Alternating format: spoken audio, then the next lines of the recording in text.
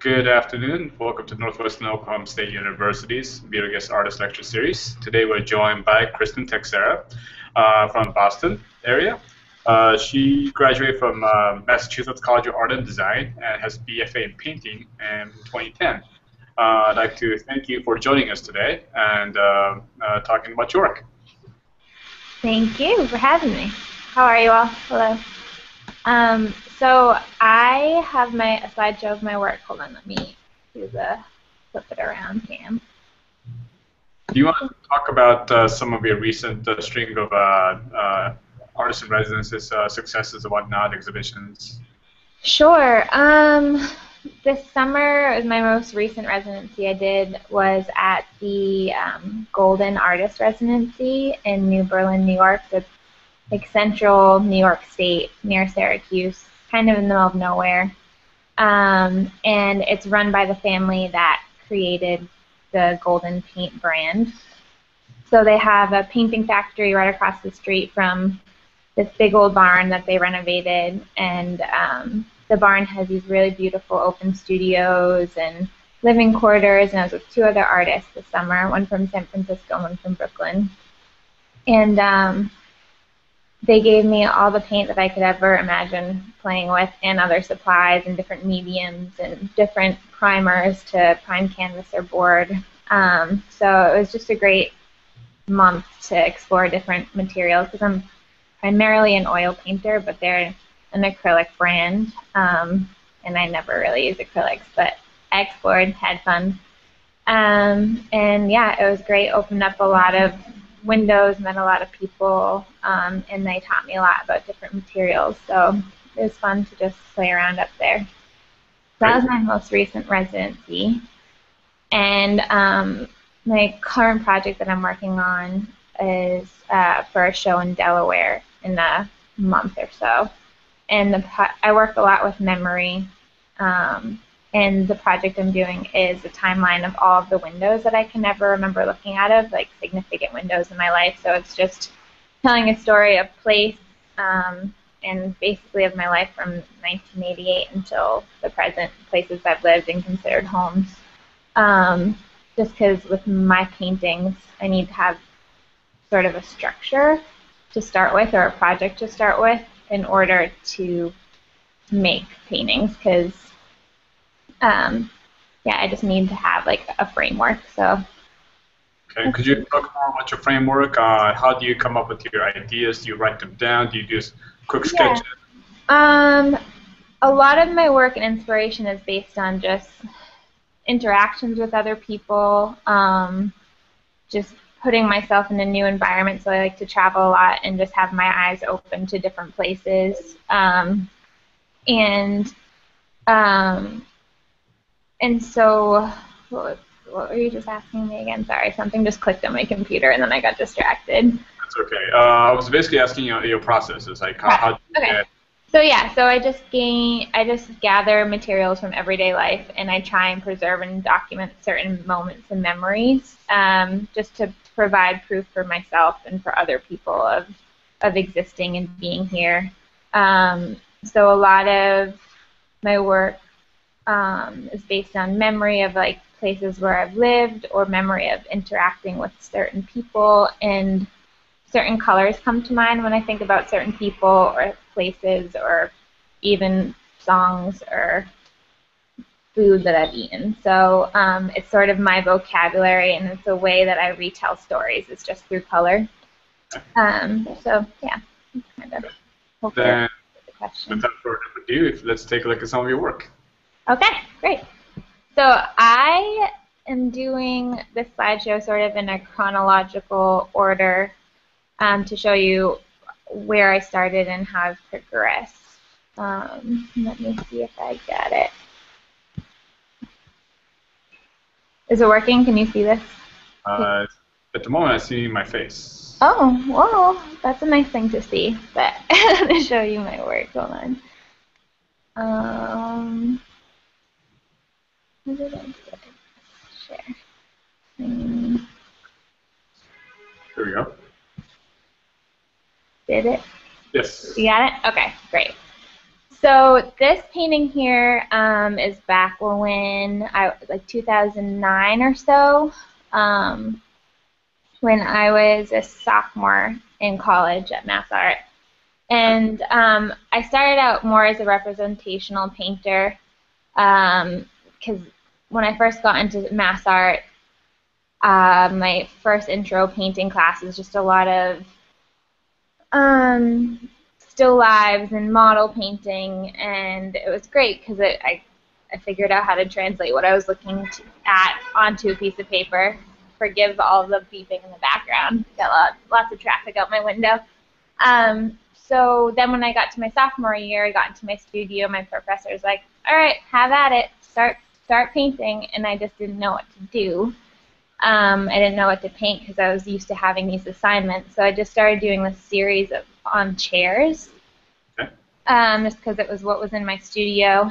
And so this is just a, a very large piece um, from that period of time. And as I was working on them, and I got a lot more interested in the shadows on the wall and the shapes there.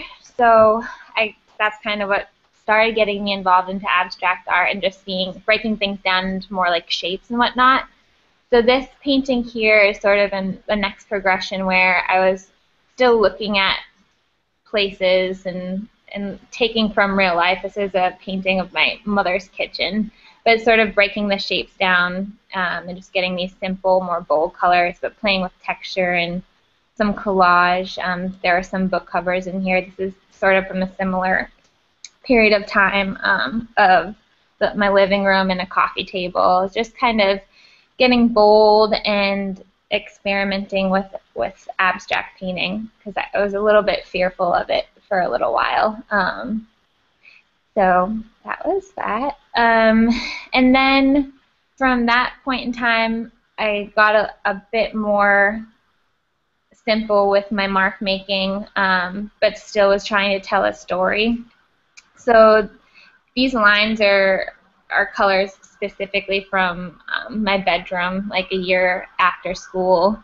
Um, and each line comes from something specific, so it's still I still am gathering material from everyday life and from observation, but really just experimenting with different ways to lay color down on a surface.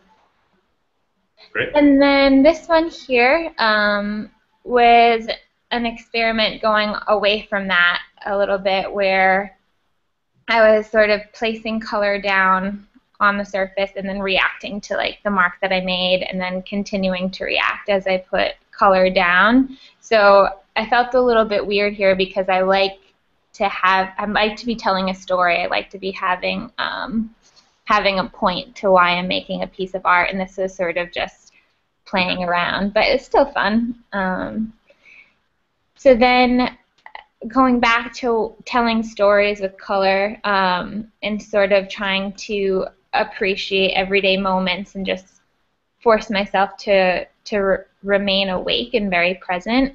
I started gathering different moments from each day just as like a project to to remain present because I can time travel a bit and just wander off and days off and miss the days. So this piece here was um, a painting when a poet, the poet laureate in Massachusetts, came to visit my school and was reciting poetry, and then there was the sun setting out the window. Um, so the green on this painting is just these crappy, crap um, curtains that were on the windows, and there was a little crevice, and I could see the sun setting out there. So it was kind of that was a, a point in time that I wanted to pinpoint and just like stamp down and remember because um, the poem that she was reading was really lovely, and it was just to try and remember that point in time.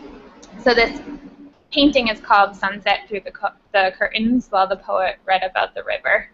And my title started getting long um, just to try and incorporate my writing into my artwork because I write a lot as like sort of a starting point for my paintings. This is another sort of long titled piece called um, spider strings at the top of small pines blow in the wind like the sails of ghost ships. So I was trying to sort of have poems incorporated into my paintings, and that's how I was doing it, was through titles. And this was um, collage and oil on paper. Great. The next one, and then um, as I was saying before, I I take my I have inspiration just through like interacting with people. And I was at a residency up in Maine called Haystack, and there were about like 120 people there, and we got really close really fast in a matter of two weeks, just because we were sharing meals and and um, staying up late together and sharing art together and making together. And I decided to do a project where I painted the colors that came to mind when I thought about these people. And so I did about 120 or so small paintings with little memories at the bottom for each person there, and then displayed them in the the dining area where we all ate together every night, and they could take that little painting home with them as as sort of proof and a memory of existing in that place together. Um, so I kind of like to do projects like that as well. Um, I did another one that was much larger. Um, this is 400 paintings. They're just small paintings um, based on all of the people that I could remember during my time at Mass Art. This was just two summers ago I did this project. Um, and it was the same idea where you, I kind of I had the show at a gallery that was run by Mass Art alumni and kind of wanted to have a reunion and I didn't know how to do it and wanted to get everybody back together. So I figured if I was giving away paintings, I could try and gather up a good crowd. And it ended up working. I think I got maybe like um, over a hundred people there. I still have a stack of these, and I just sort of deliver them whenever I bump into somebody. I carry a, a stack of people that I know are living in Brooklyn or in New York in case I run into them, and it happens, and it's great. They're like, "What are you doing with this painting?" So um, just yeah, just these are the colors that come to mind when I think of certain people. Great. Could you talk about the size of these small paintings that you are showing us? The size of these, this is probably like three by five. Okay. Or so, all of these little pieces, and then so I work I work small, but it ends up adding up to like one giant collection of paintings. So it's one big project. Um, could, yeah. Do you want to talk a little bit more about that? Because it seems like when you uh, put, put them together in a large format such as this, mm-hmm. and you mm-hmm. have your friends and people you know take start taking pieces away, it becomes very interactive. It also uh, uh, changes the piece quite significantly when this thing starts to disappear. Uh, is that was that always your intention, or how do you see? Uh, what? How would you define your work? Is this is this more um, installation time based? Is it just the painting, or how do you how would, what would you call it? Oh yeah, I would. It's definitely a, an installation, and and it's an interactive piece. And sometimes when I'm painting, I, I like I get stuck and and I wonder why why I'm doing this. I'm just making these objects, and so when I do these projects, I feel a lot better about it because I know it's for just a good. It's just for a good cause. Like I'm able to give give these paintings away, and people get, get really happy that they're being remembered. Um, so yeah, I just like doing these projects. They're definitely more of an interactive installation because um, they can take them with them. So it's a nice thing to know that there are colors all around that I created and people can enjoy them without having to drop a couple bucks on them. So, um, so my next project, uh, I did this at the Vermont Studio Center, which is a residency where I met you and a yes. bunch of other great artists. Um, this is, sorry, the color's a little off here, but this was a project called All of the Boys That I Can Ever Remember Kissing. Um, it's sort of like a Dear Diary project that I'm a little bit embarrassed about lately. I don't know what I was thinking, but it was fun and people really liked reading about it. Um, but this is another sort of timeline where I was experimenting with different ways to put color down on a surface and limiting my palette because I just loved mixing color so much that I was kind of trying to wonder other ways to lay the color down. Um, so uh, there's I don't know there's like 20 boys or something in my life since I was four that I've kissed and um, yeah just did like their name, age, location, and circumstance. They're all kind of quirky little funny stories of the boys in my life that I've kissed. Um, this piece here was a project that I did at, at a residency when I was in France. And um, I was in France in like June, and the it was about to be summertime there, and the light was staying out so late at night. It would be it wouldn't set until like 9:30 or 10. So I got really excited being able to have this like this golden hour, magic hour, and the light be out so late at night. So I just wanted to keep working and sort of capture the, that color. So I would race the sunset almost every night and just try and get the changing colors on on the hills that was outside my studio window. Um, another sort of timeline of color, but taking color from observation. Um, and underneath there are like it's sort of like a scientific methodical obsession which i really like to do too but there's just the like the time and the date and the weather um, written underneath each painting. I also did a project while i was abroad um, where i interviewed my grandmother who grew up in a small french village before i went to france and tried to get um, her stories and her memories of her childhood in a French village, and then compare them to to my time that I was going to have in France. So I sort of broke down a comparison with like her house, the layout of her house, the layout of the landscape, um, just a, a, sort of a random memory, and I think a memory revolving around food.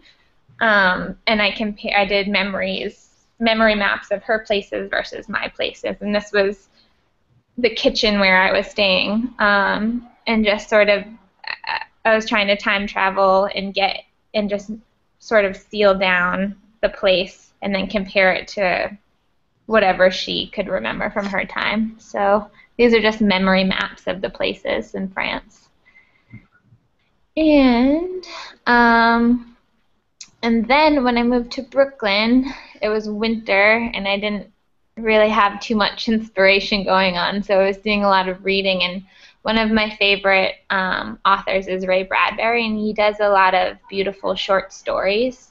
So I just sort of chose um, the titles of his short stories to interpret into paintings. And I took about 30 or so. This is just a limited selection of them. Um, and the colors and the shapes that came to mind when I thought about these stories and their titles and made a series of paintings based on those. Um, and then these here, um, another sort of series of memory maps of my grandmother and her four sisters' homes. I really like sort of having these tests, like memory tests, where I have to focus and sort of go back in time and travel down hallways and try and remember rooms and colors of places and where furniture was. And um, I, I was sort of babysat by my grandmother a lot when I was younger, and so it's sort of fun for me just to to go back to these places in my mind of, of her house and her grandmother and her sister's homes where we used to hang out a little bit um, and try and remember the the layout of these places. Um, so this is one just more up close, and there's some collage elements in there too. And then these are um, images of the series that I'm just finishing up right now of all of the windows that I can remember looking through. Um, and it's again sort of methodical with, I started with all of the places and the time and um, then wrote a little memory of each place underneath.